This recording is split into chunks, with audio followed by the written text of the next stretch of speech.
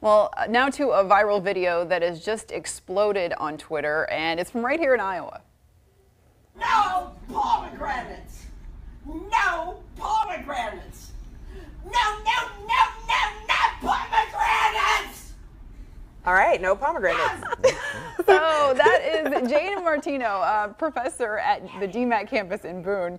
So what's her deal with the absolute aversion to pomegranates?